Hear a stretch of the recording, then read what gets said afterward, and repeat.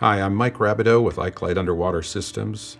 Uh, today we're going to take a look at the Canon RF 24 to 70 f2.8 L IS USM lens, and we're going to show how to install and use the zoom gear. Uh, first of all, we've got uh, the camera installed in the housing. I'm going to reach in and remove the lens cap. Going to install the zoom gear into the housing. You'll note that this gear's got some slots cut in it. There's a very thin slot and then a larger U-shaped slot.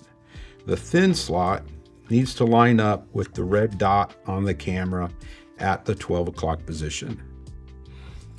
Once the zoom gear is in the housing, we're going to install the zoom gear retainer.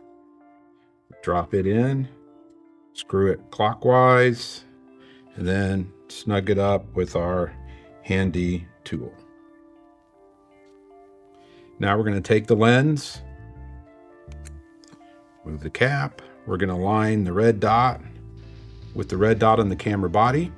We're going to make sure again that the thin slot on the zoom gear is pointed directly 12 o'clock in line with the red dot on the lens and the camera body. We're going to double check and make sure that our switches for uh, image stabilization is on.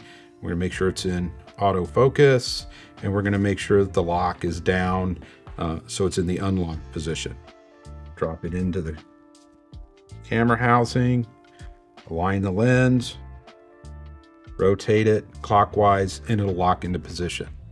And now we're simply going to rotate the zoom gear, zoom knob and make sure that it's zooming the lens properly. And that's it.